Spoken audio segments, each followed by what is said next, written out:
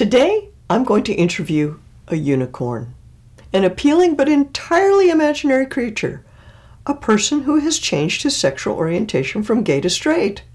You and I have been told a million times that people are born gay and no one can change. Even trying to change is harmful. But logically speaking, even one man who changes his self identification without lasting psychological damage disproves these sweeping assertions. At this point, the committed sexual revolutionary activist will respond in one of two ways. This guy wasn't really gay to begin with. Or they'll say, he will surely backslide and revert to his true identity, which is, of course, gay.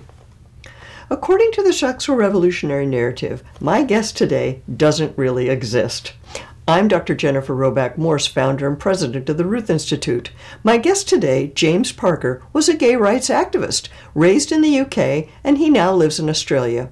He facilitates a peer support network called True Identity, which addresses matters relating to education, recovery, and advocacy. He's passionate about the redemptive love of God and the recovery of men and women. James Parker, the unicorn, welcome to the Dr. J Show. So, which is it, James? Were you really gay to begin with? And how long have you been married to a woman?